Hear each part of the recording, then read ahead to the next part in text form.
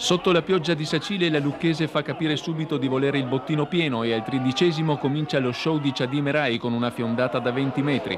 Sempre lui da lontano al trentesimo e poi ancora dalla diagonale destra un minuto dopo con Calligaro a deviare in angolo. Scandurra al trentacinquesimo riesce a liberarsi ma la conclusione è prevedibile. Daros interrompe il monologo al trentaseiesimo e riporta in avanti la Sacilese ma il tentativo si spegne oltre la traversa.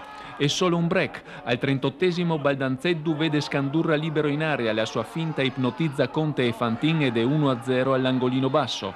E al 44esimo occasione raddoppio per la Lucchese con Scandurra che non riesce a deviare a rete il tiro di Michelotti.